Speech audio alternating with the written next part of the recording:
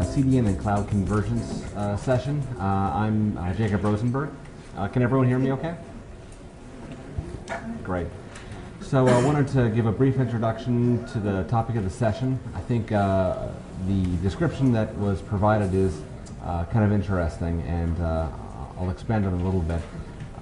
There are quite a few uh, folks who are very interested in cloud computing these days. It's become a very hot uh, topic, but arguably one of the original cloud-oriented services on the internet was CDN. Uh, it's something that uh, has existed as a kind of a, a cloud-type service, and uh, the companies that provided CDN, the companies that provided cloud services, have uh, interacted somewhat in parallel uh, through the last year or two when you've started to see a, an increase in the sophistication of some of the, the services uh, offered by infrastructure as a service providers, kind of coupling with a, a, similar innovation where more sophisticated uh, the value-added services described in some of the other discussions uh, were being offered by CDN providers. And uh, there are now more than a few companies who offer CDN services who also sell cloud services or cloud service providers who offer a CDN as part of their, uh, the, their offering. The interesting question is uh, whether there, there is a natural overlap between these services, how the convergence of these services into a, a single suite of services kind of affects the industry as a whole, and uh, whether there are some interdependency or cross-dependency issues which, uh, which are interesting and need to be solved to kind of make this, this happen in a more graceful way.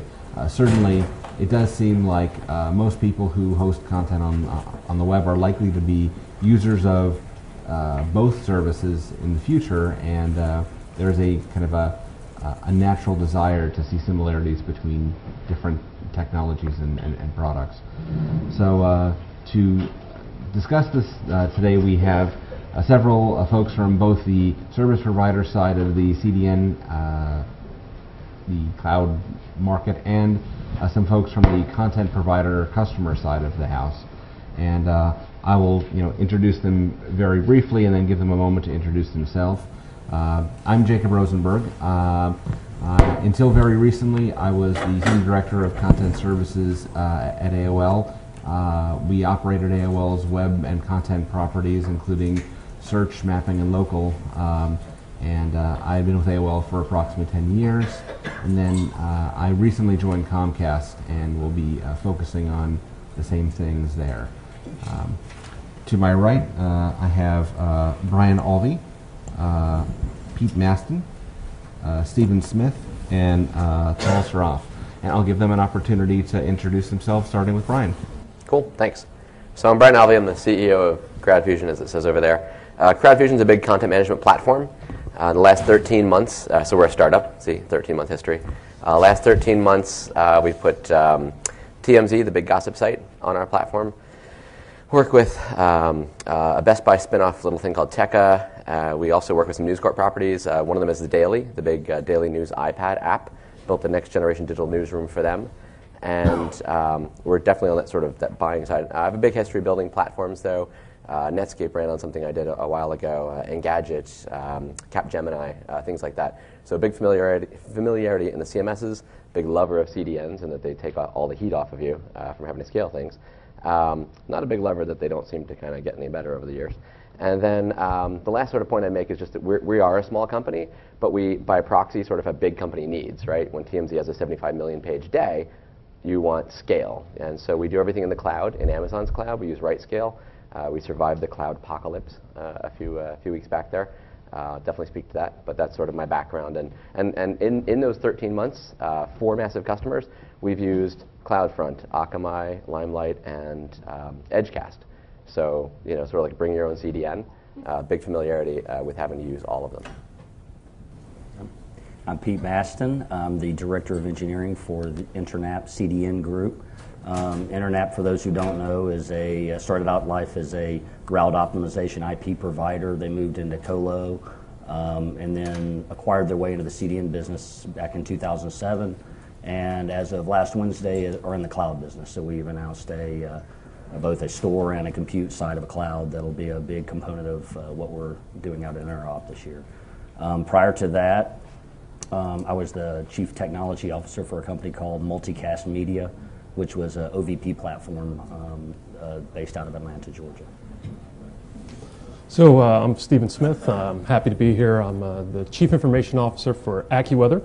Um, a number of you probably know that name and that brand, um, but uh, my contribution to this panel really is I kind of sit in the middle between our own needs because we are certainly a content creator uh, on a variety of platforms. Um, we've been using traditional CDNs, almost sounds like traditional wired.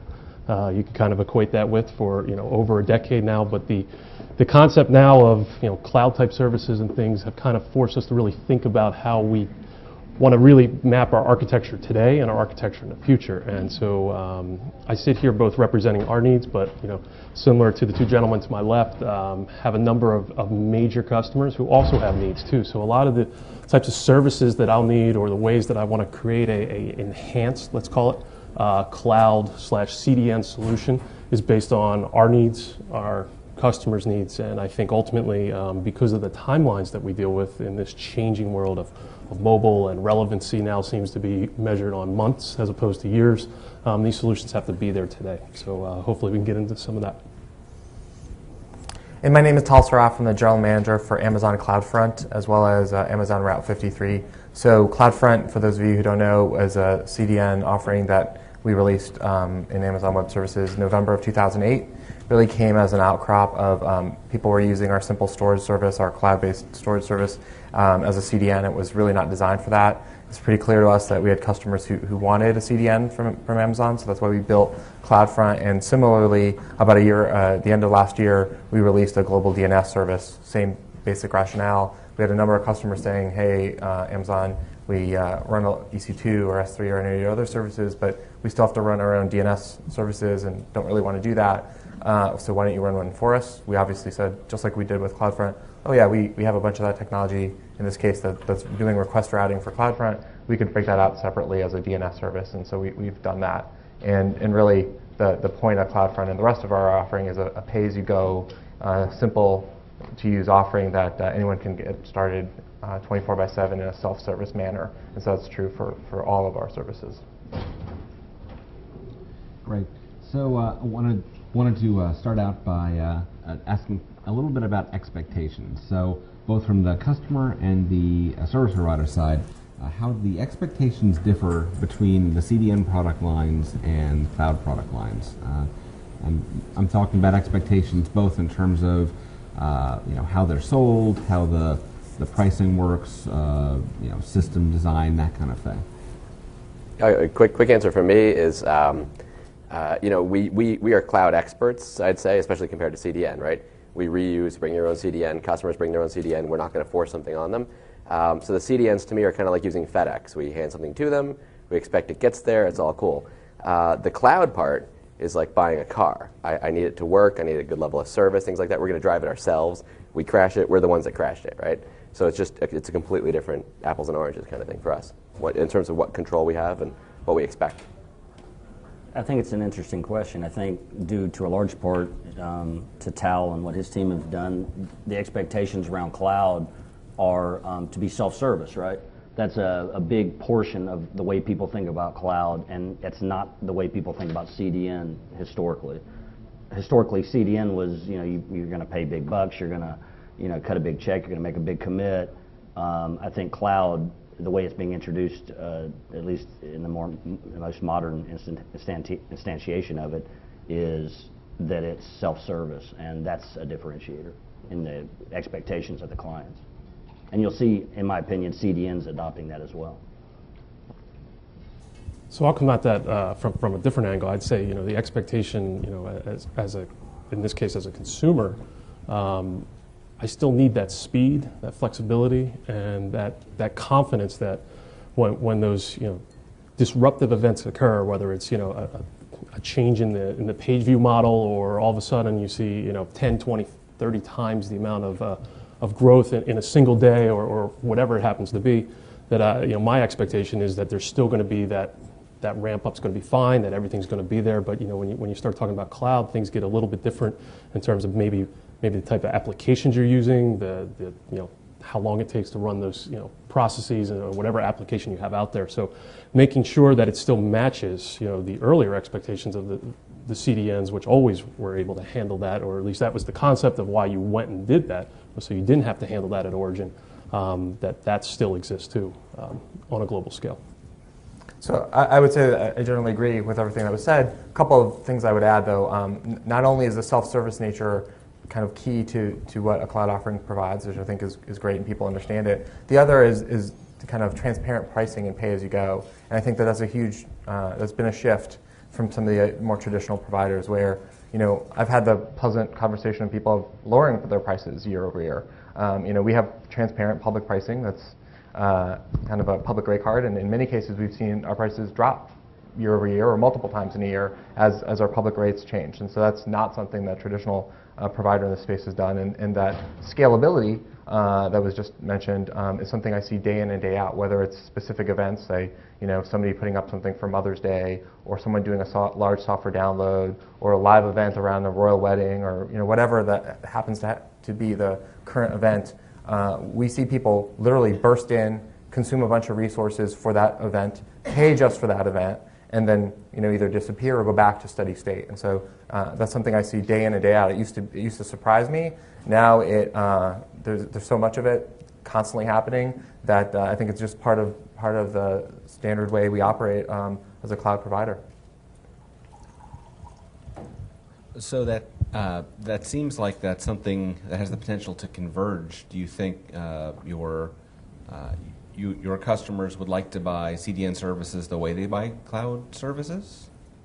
Uh, I see two, two ways of, of thinking about it, and I, I talked about the pay as you go sort of dynamic nature. Certainly, um, the analogy I like to use is uh, buying a, a, can of soda. I don't have a Diet Coke with me. I usually use it when I have a. So I'm, I'm visiting New York, right? I'm obviously from Seattle. Uh, when I come to a trip like streaming uh, media or the CDN conference, I don't necessarily know how much Diet Coke I'm going to consume. I don't necessarily buy a lot of it. But if I walk up to a vending machine or to a kiosk and buy a single can of soda, I pay sort of pay as you go pricing, right? I'm consuming that, that service today.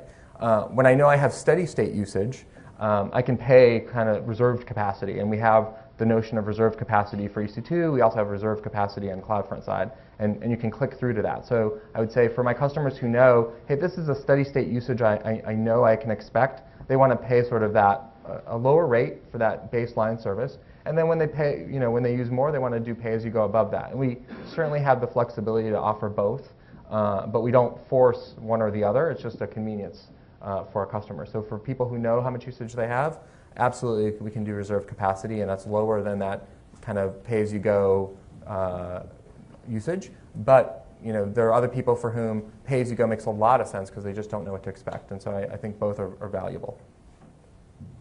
So, folks on the uh, the buying side of this equation, uh, how do you feel about that? Is that a uh, a choice that you want to have? Is that a, a good choice from a cost perspective? Well, I, I, like the cost thing he said. I'm going to use that Diet Coke thing now when I explain to our customers why they're buying reserved instances, because it's like the two liter bottles versus the can. Um, so I think that'll work with them. Um, but, but I mean, I think there's also the feature set thing. So the pricing, great. So maybe Amazon gets it right. We, we love Amazon. We're, we're all over the place there.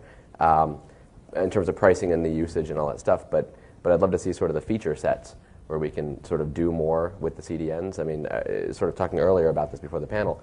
You know, 10 years ago, it's like you want to you want to change. Um, somebody changes a, an image, and then they got to they got to change it again, and the CDN says, "Great, rename it," right? And that's that kind of sucks. And then we're in conversations over the last year, and I'm like, "It's got to be better, right?" Talking to these people, and they go, "Yeah, you rename it." You, you, or you send somebody to go into a, a control panel to manually like change the file and delete it off the edge servers or something. That's just kind of insane. So I'd love to see more of the API-driven, you know, the, the, the, functionality be there for a platform to tap into. The pricing, great. You know, you, you guys are definitely solving that, but I'd love to see that, that functionality sort of converge because you have you, you, were talking about sort of cloud and their CDN, and you say, great, cloud completely dynamic, CDN kind of static. Um, you know, and that I, I, get how you have to be more static to do the scale like that. It just we, nothing changes. We can scale it like crazy. But what if you do have to change it? I'd love to see sort of that that ability to break that stuff and uh, break those caches. Yeah, that's something our, our clients are definitely demanding is an API control driven, you know, all features. So when we when we design and develop any of the features, whether it's cache purge or or whatever, we definitely build, you know, as part of that design effort, we we build the API right in, which I'd say at least 30% of our customers actively use. Um, there's always going to be the customers that just go use the control panel, and that's that suffices. But uh, you do have, and it's usually the larger customers that use your APIs. And I, uh, I think this was mentioned in a prior session, but you know the concept of when you would architect, you know, five even five years ago, I was going to use ten because we we certainly did it ten years ago too. The rules that the CDN put on you, and they were pretty rigid in terms of what they could do and what they couldn't do. You modified your development and your approach to it in order to maximize that. And I do think that you know that cap's been kind of lifted now in terms of you know uh, with the buzzwords being thrown around, and now it's really the proof of the pudding of is it truly dynamic? Can I truly build something that I know is efficient and fast and deploy it as it was meant to be, and then have it stand up you know to all the scalability questions and stuff like that. And I, to me, that's the exciting part of this because I think it really does change your planning, your thought process uh, from you know what a traditional CDN could do, or you know what the traditional rules were around it, to to really what you have available to you today. So I think it does go back uh, to what Brian said in terms of you know what true features can, can I tap into, can I touch? Because I think there'll be some really innovative and creative ways to both produce content and at the same time really be cost effective in how you actually produce that on a, on a grand scale. Mm-hmm.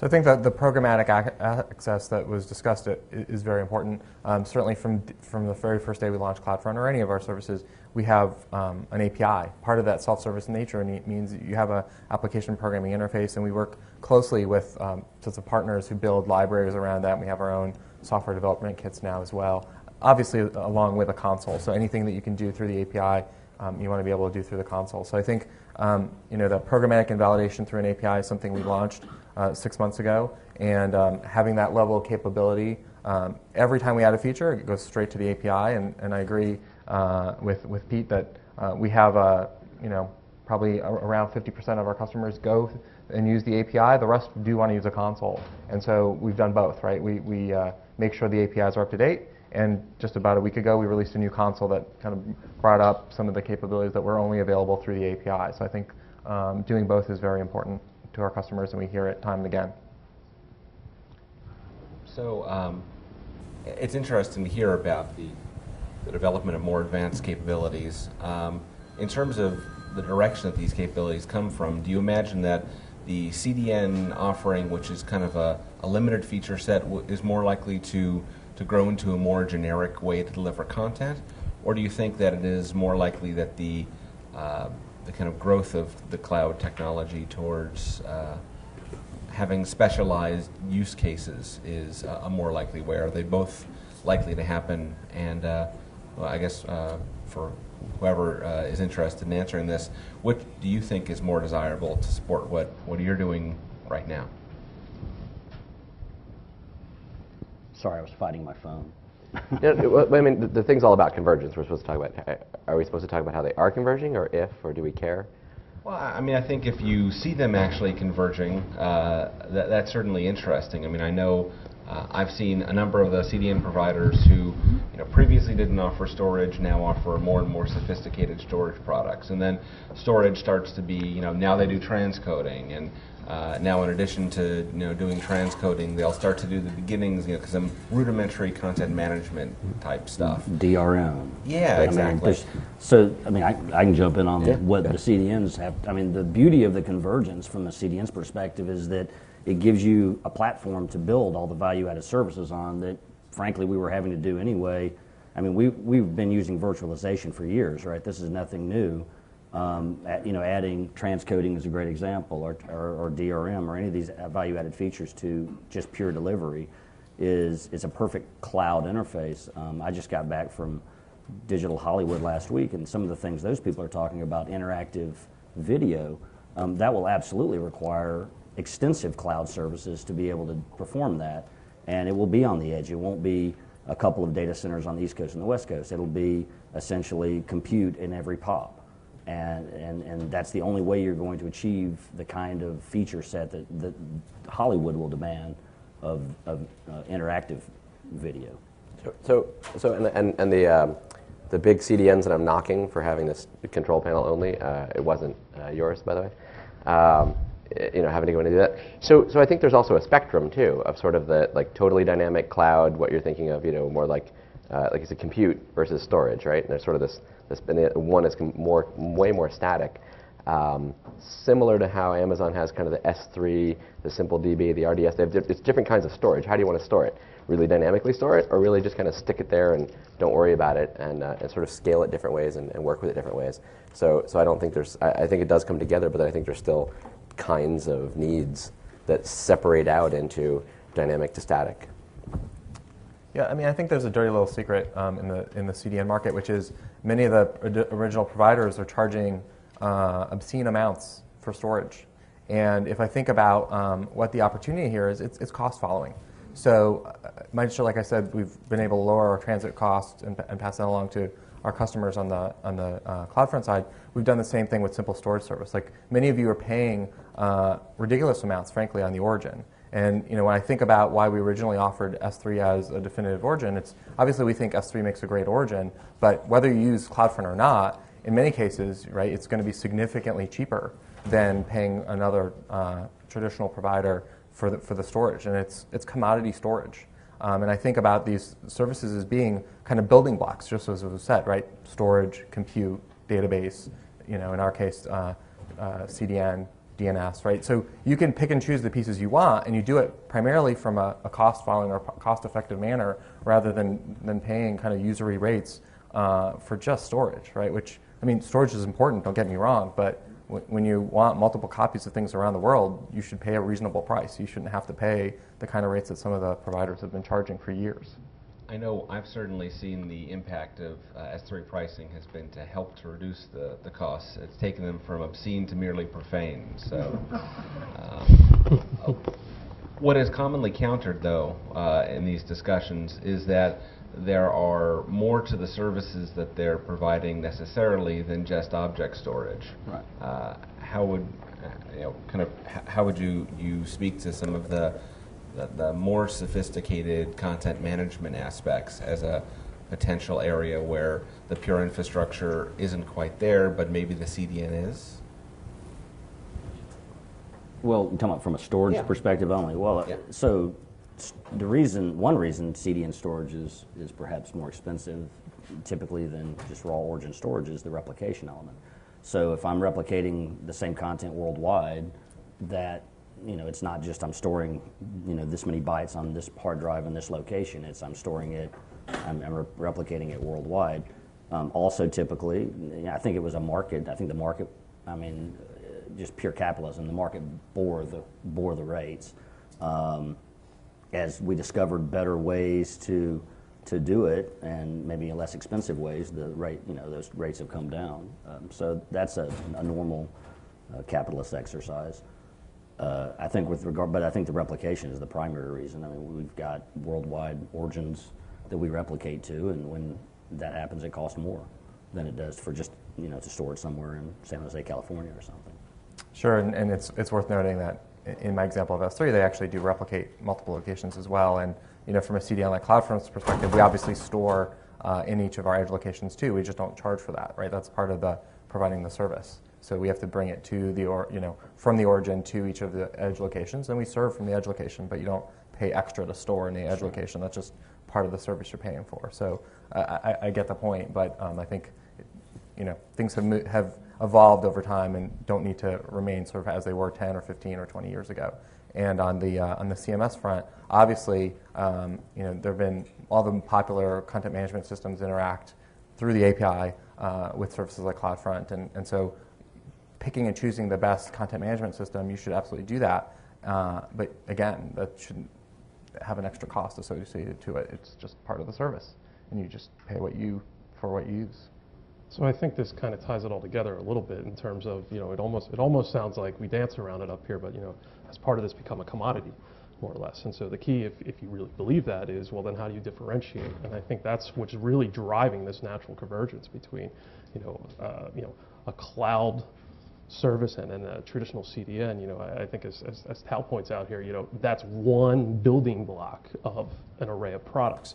Um, we use, um, you know, uh, we use uh, AT&T and, and Contendo, which was in a previous com- uh, conference here earlier. Uh, they were talking about, you know, a, a cloudlet type service. You know, so here it is, is it's an advanced way to, for us, it, it solved an issue that we had and provided better service. But I wouldn't view that as you know, a commodity type service. I would view it as that was a differentiator above and beyond what a standard traditional, as we're throwing it around up here, CDN will provide. So I really think, you know, again, for, for a consumer, um, it's great for all of us because you know, this competition will certainly drive that out. It will certainly pull out the, the new, interesting, innovative ways that are changing in terms of here's what you can do, here's what you can do, here's how it's dynamic, here's how it's not. And I do think that in the end, everyone's going to win. So the uh, the idea of the commodity service is actually pretty interesting, and uh, this brings me to uh, something I was curious about, which is uh, there are a number of uh, uh, folks, including my former company, that use multiple CDN providers, partly to gain the benefits of cost reduction for commodity services, but additionally for the kind of benefit of having some some reliability protection. So if uh, there were an issue with one of the CDNs, we could shift traffic back and forth. And while it's very rarely been necessary, it is possible to do so. Uh, it doesn't appear that that is nearly as common, although it is something that people talk about being interested in on the cloud side. Um, you think that uh, stability is a significant concern for either of these anymore? And uh, you know, do you, do you think it's warranted to actually try to be multi-vendor for uh, for kind of a disaster recovery risk avoidance purpose? Uh, recent experience notwithstanding. I, I mean, we, we, we do it sort of naturally in that S3 is our origin, and we can serve directly out of S3. It's not as cheap as CloudFront, but it's not as bad as being out of business, right? So, um, and we'll get the reports, you know, a limelight thing, there's a storm in the west or whatever, I don't know what's going on, and, and then stuff is down and, and things are flagging. Um, they also some of the customers know when they're going to have spikes and things like that. But they're pretty good about sharing alerts, and so we'll do the fallback into Amazon. So we kind of have a natural, except you know, except for Amazon, Amazon uh, fallback and failover. So I, I, would definitely, absolutely do that. So based upon uh, your experience with cloud, you don't feel the necessity to have a, a fallback for that, though. I mean, a, a, month or two ago, a little bit, uh, but but that's it's a completely different problem. That's a, there's, there's DNS, there's servers, there's you know that's the compute side, you know, more than anything. Um, not so worried about that. You know, S3 has been stable. I was thinking about that before too. Like, why don't all these companies just sub out to S3 all their storage for their, but they'd find another way to bill you. You know, all the, all the CDNs. Um, so, so S3 itself is sort of, you know, a faith-based storage system. You know, it, as far as an outsider looking in, it's just always up, right? The machines actually expect it. One of our worst outages wasn't this big, you know, cloud thing uh, a couple weeks back. It was last summer in June when S3 was down and all these uh, servers were trying to do their snapshots. And it just, it, the way it's built, you don't snapshot to like a local disk and then wait and do it in the background. The machine just expects S3 is there. So you hand it off to that. If it's not there, your master database, all your web servers, you know, whatever you have, is just hung, 100% waiting, because it just believes S3 will always be there. And when it's not there, it kind of sucks. Um, so, so it's really, really, really, really, really stable until it's not. Um, do we need a backup for that level of stuff? You know, maybe not for consumer entertainment websites? So we're, we're seeing um, the CDN is, is, a study in redundancy, so you can leave that aside. It's just a redundant, it, it, you know, multiple POPs, multiple storage. On the, on the cloud side, it's a little more interesting. Because we're a managed hosting company as well, we're seeing many of our managed, uh, really, we built the cloud primarily because we had managed hosting customers that were demanding that we do so to a large degree because they felt the price was going to be cheaper than buying more managed hosting. Um, and they're starting out by using it for DR sites. So they're building redundancy into their applications where you've got a managed hosting primary perhaps and a DR in the cloud as your secondary. What I anticipate happening over time is as the um, as they as the faith in the in the cloud system you know grows, um, you maybe have a primary and a secondary both in the cloud. Um, but at least for now, what we're seeing is, more of the managed hosting customers, you know, converting uh, either their DR or just their active-active scenarios uh, into the cloud. So my answer to that is, it, was yes in terms of making sure you had multiple CDNs in the past, and at least going forward, my intention is to yes to have multiple ways around the cloud too, and, and I do that because regardless of whether how I may feel about the confidence of them, I also know that I'm signing SLAs behind me that are requiring me to make sure that I have some type of coverage there. And you know, really, if you think about it, um, you do DR because you have that need, and uh, our customer base would drive me to do that. So I do. I don't think it's one size fits all. I don't think my answer of yes applies to everyone. I think you have to look at that risk reward on it. But uh, but I do. I, I mean, hey, we, all of us may be technical in the room here, but we work with machines. The machines go down, and we find ultimately the most interesting ways for that single point of failure that we never thought about. And it's lack of imagination that ultimately kills us. So uh, I'd say yes. I'm definitely going to you know pursue a strategy that allows us to, to think about multiple ways to, to be secure in that case. But you know, uh, it, it probably won't be though a traditional replication one for one type service. It'll be a different way of, of integrating that. So I definitely agree with Stephen. I, I, you know, uh, on, in, in terms of everything he said, uh, I think it, one size doesn't fit all. We certainly see a lot of customers who say, "I do want to pursue a multi-CDN strategy," and that, that makes sense for, for that set of customers. It's not. It doesn't make sense for everyone. Um, some people do it for either one-off events, um, you know, software download use case, uh, marketing campaigns, marketing websites, those kind of things. I see a lot of those, or just as a way of experimenting and trying out a new provider. So, totally, obviously open to that. Um, there are other cases where we do see, um, much like Pete described, you know, CDNs are built, and, and we certainly built CloudFront in this way uh, to have a great deal of redundancy. So, you know, if, if a transit provider fails in a local in a particular location, the system recovers for that. If a location is taken out by a storm or a fiber cut or whatever, you know, take that location down and route traffic around it. And that's kind of traditional internet weather events and routing events um, happen, right? They happen once a month, once every other month, uh, with, kind of regular uh, recurrence. And so we need to design a system, and we've designed a system around that. So as I think of customers who use like compute in the cloud, same kind of things apply, right? So uh, the ability to use multiple availability zones across multiple data centers, right, for your services and, and, and shard out the data and replicate. You know, those are things that are available today um, with, with the various availability zones on EC2, and we certainly enable that through our, our Route 53 DNS service. So it's kind of a better together, be able to recover and be able to auto scale up and down and you know, move traffic around as appropriate. And I guess the one, the one last thing that we didn't want, didn't mention, but it's probably one of the primary reasons people do a multi-CDN strategy is pricing. It's a, it's a price leverage, right? So if you have CDN one, you get CDN two, then you tell CDN one, hey, I'm only paying this, and then next time your contract's up, comes up with these guys, you tell them that. So it's not the, not the best reason, in my opinion. But It's a fun one, though. that's right. I think there's a question in the. Yeah, I'm not, I'm not sure you actually answered the right question you're going through using multiple CDNs. We, you touched on it earlier on, on like, can I run a CDN like a cloud? Which means I, I'm scalable, I'm self-serve, and I'm pay-per-use. And so people know how to do that with Amazon now, although they have to design it properly. Still on your, still on your own onus to be able to do your disaster recovery, your mirroring, everything to make that work. Also you run into trouble if, if the site goes down. So that's what people learned before with the outage last week. So you can design properly around that if you know how to do it. If you're going to run a network like that, that means the onus is on you to actually understand now, how do I actually manage a whole network, a wide area network? I don't know how many people are capable of doing that on a self-service basis right now. And until you can figure out how to do that, the idea of just you know black boxing multiple CDNs isn't going to be the answer to how you actually keep your uptime and you keep your customer satisfaction. So I guess the question is more like, do you think people would be comfortable with being able to run their own network as a self-serve on a CDN? I think there'll be a few. cu- You know, there's a there's a Sorry. set of customers. Uh, sorry, the question was, um, do we think about how do we think about um, uh, running a set of CDNs in a black box in a pay-as-you-go manner, uh, or sorry, a self-service manner. Sorry, is what you said. Um, and can customers, or do we think customers would be comfortable running it in a self-service way around multiple providers? And my answer that is No, I was thinking within one provider. within a single provider. Yes. Oh, okay. Uh, apologies. So within a single provider. So I think um, that is much.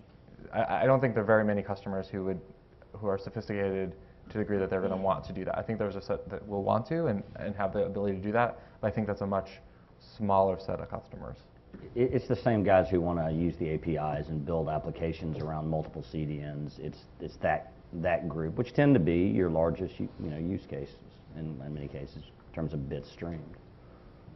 Um, but it is, it is a headache, right? And there are, there are some providers that have popped up um, I'm not particularly aligned with any of them, so I won't mention names, but that manage multiple CDNs for you. They have product sets that, that do that. And I think there are the beginnings of some companies that do the, are trying to do the same for, for cloud providers, but they're less sophisticated. I see another question out there. Um, it, it's a two-parter, and um, I want to just go back to the question you asked. If you think about a CDN, it's just a collection of, of servers and network, but it's designed for delivery. What's cloud? Um, I- I'm actually not really sure what we're calling cloud these days, what exactly it is, but CDN could be a cloud or it could not be a cloud. So my question is, are cloud providers going to eventually become CDN providers? or CDN providers going to become cloud providers? Um, is that already the case and it's just a matter of terminology?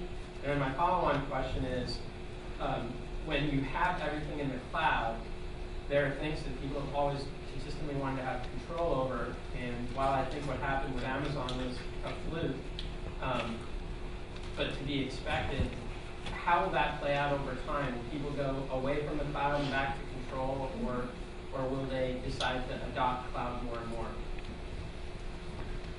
So uh, to repeat the, the question quickly, um, two parts. The first part was basically, uh, do we see the CDN providers driving towards cloud or vice versa as a, uh, a likely outcome?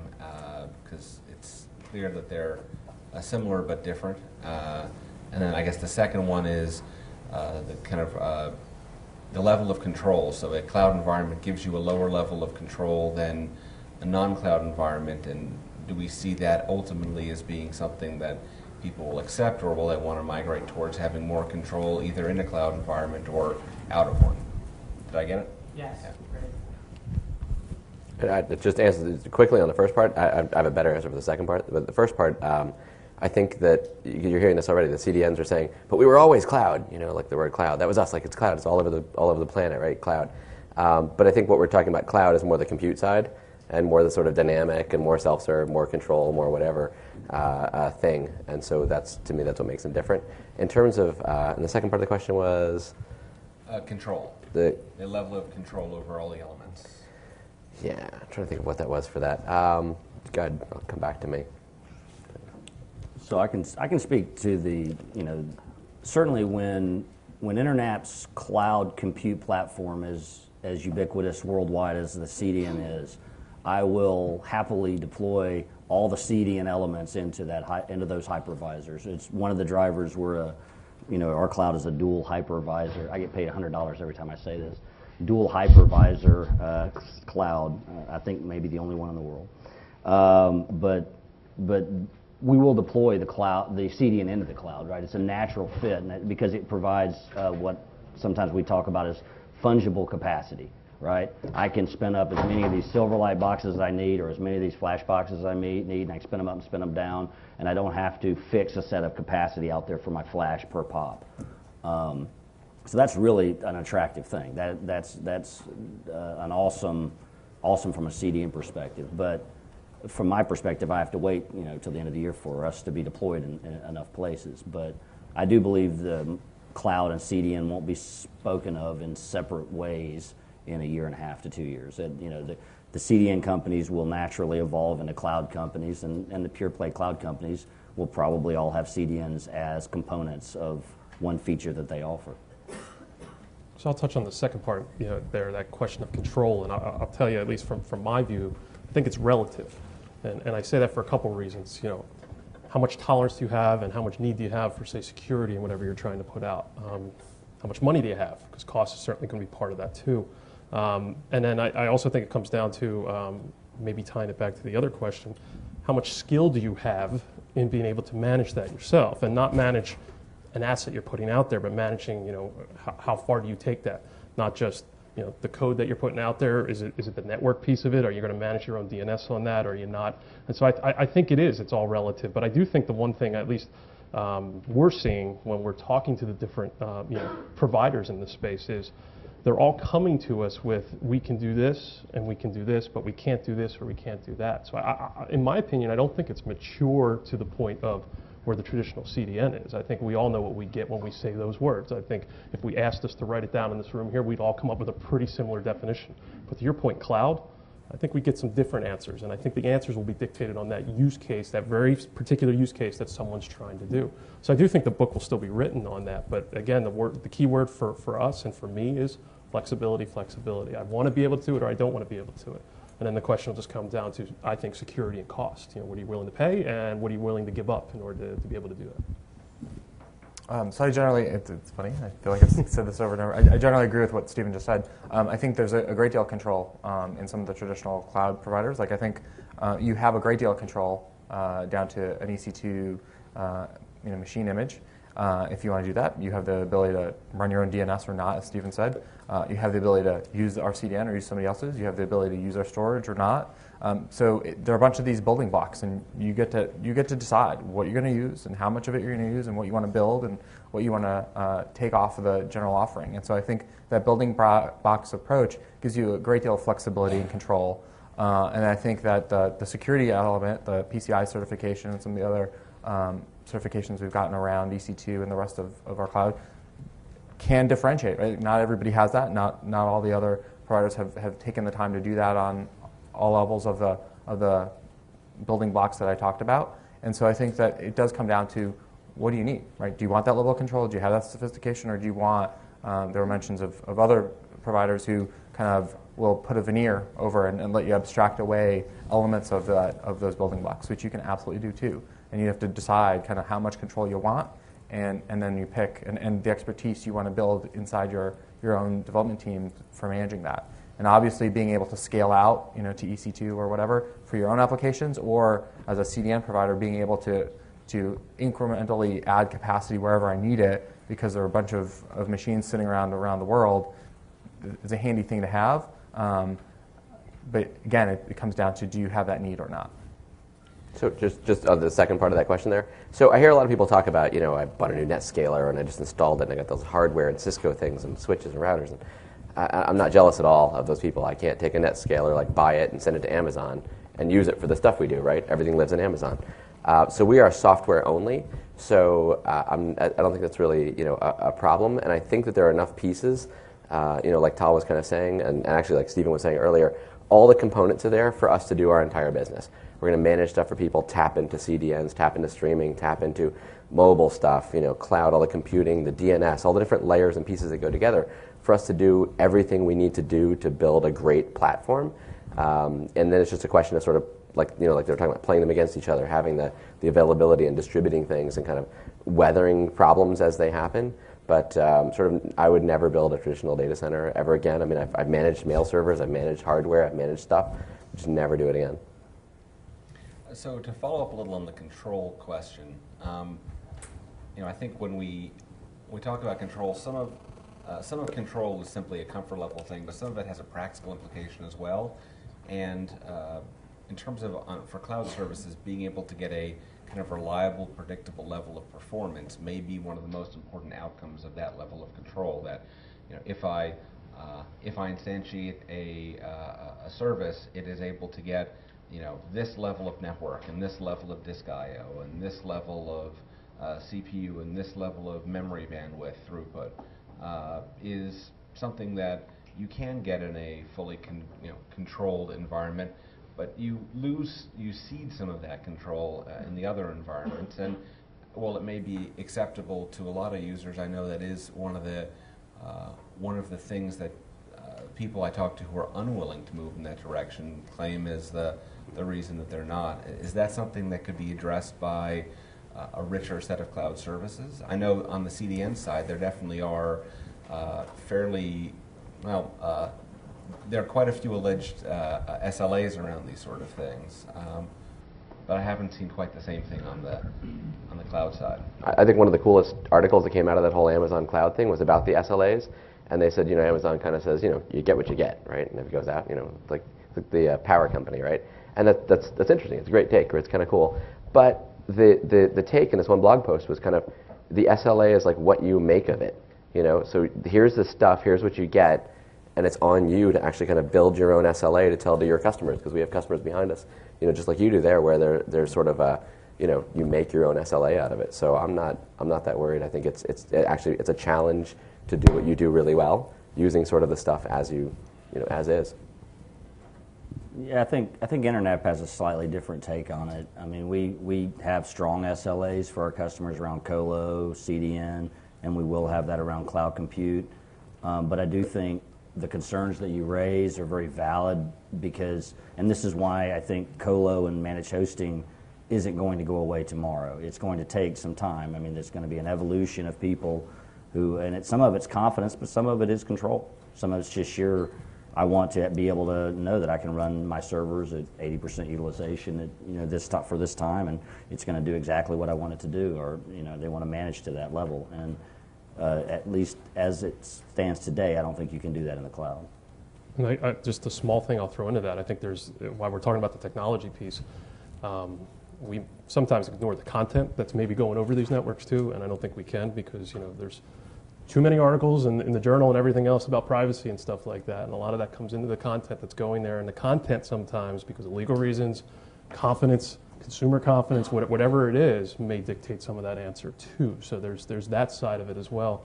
Um, and and, and uh, so again, I still think that there's a lot of room to move in this space in terms of where you go, how you do it, and there's probably 10 different ways to accomplish the same goal if someone had the same exact problem to do as a case study. But uh, I, I, there are those outside factors that still drive this.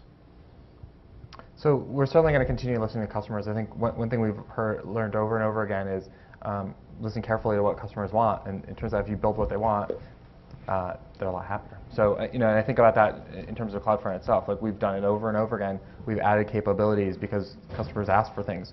And I think dedicated, the notion of dedicated instances in EC2 is one example of that, where um, customers have said, hey, I, I want to be able to touch that box. I don't necessarily want it in my data center. I don't necessarily want it in a colo, but I'm fine having this dedicated instance that I, I know is only running my stuff. Uh, and that's just one example of that. The next is, is quality of service like guarantees of saying, well, what can I expect? And, and this is something we've heard over and over again where customers have said, what can I expect from this kind of instance or what can I expect from that kind of instance? And so we'll, we'll continue to do work there just like we did with you know, reserve capacity and dedicated instances to let you know what you can expect out of a, a particular uh, piece of hardware and above and beyond the SLA, right? So there's, there'll be SLA, and then there's also the how you architect it, the, the, the point that was made by Brian earlier about you can architect to provide greater level of service through kind of building on top of the SLA and having redundancy across availability zones and, and regions. So there's certainly the ability to do that. But again, like the gentleman asked a few moments ago, it's about you know how much of that you want to do yourself versus do you want to just have it work for you out of the box. And there's a choice there. So I think we need to wrap up. We'll have time for one last quick question up front. Yeah. So the question is, do we see uh, the cloud service providers moving into the edge or access networks and ISPs, and how do we see telcos and uh, MSOs working with that? Heck yeah. yes, we will definitely be building out availability zones um, as close to the consumers as we can because the same speed of light issues um, essentially exist for cloud computing as does for CDN the, the, the requirements are the same for the CDN, for a CDN? I think the requirements for CDN for broadcast. I mean, because of the because CDN is really dumbing down the internet and trying to turn it into a broadcasting mm-hmm. network, those requirements for latency are, are greater than than perhaps. So you could have fewer availability zones, perhaps, but I think a high performance cloud, uh, low latency cloud, for instance, would have the same kind of uh, performance characteristics that a CDN, it, it, would require that. And if your intention is to build the CDN within the cloud and expand the CDN within in the cloud, then clearly the cloud, you, know, you want that to have the same um, footprint characteristics as the CDN. I think there's certainly opportunities, um, to your question, to, to work together with telcos, and we're very open to that. Uh, I think those are tended to be one-off conversations. All right, well, thank you very much. I wanted to thank the panelists, uh, uh, Brian, Pete, Stephen, and Tal for being here today, and uh, thank you for coming.